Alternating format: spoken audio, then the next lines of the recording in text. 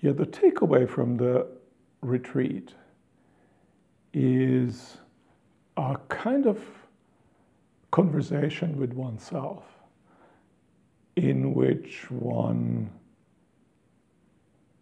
dares to question kind of the, the rightness and the truth of one's own life. This is a really the big question of our lives.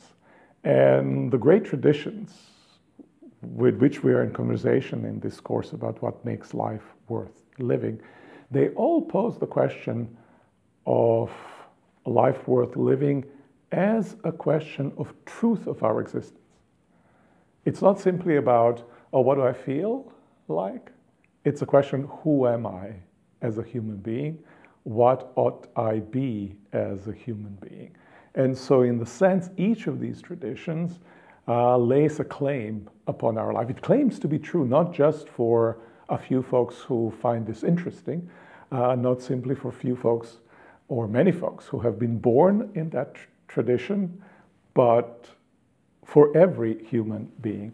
And facing this question of who I am, what is a human being and how I relate to being a human being, again, is, in my judgment, the most important question of our lives.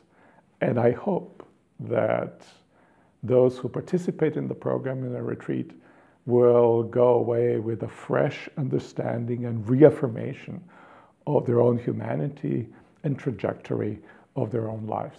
You know, just before coming here, I was reading a text from Martin Luther, and we celebrate this year the 500th anniversary of the beginning of Reformation, which he started in Germany. And one of the things that he that he says is a comparison. And folks who uh, build at that time the great cathedrals were being built. And obviously, to build a great cathedral, you've got all sorts, have to have all sorts of workers doing specialized activities in various areas. And he said, well, uh, a lot of people are interested in one or the other specialty uh, or special task that it takes to build uh, a great cathedral, but never ask themselves, what is the cathedral that's being actually built? And in some ways, you can say our lives are along the trajectory of their trajectory, this big cathedral. And we concentrate on individual tasks that we have to do and uh, uh, doing it well and defining it pro- properly, executing it properly, but rarely ask the question what's the cathedral that I'm building? And I hope that people who go away from the retreat will go away with more clarity about the nature of the cathedral of their lives.